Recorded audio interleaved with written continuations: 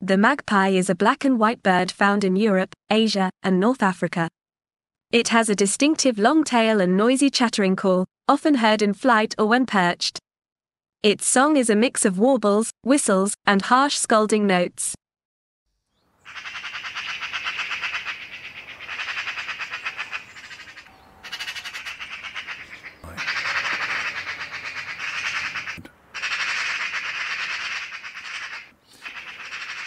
Records.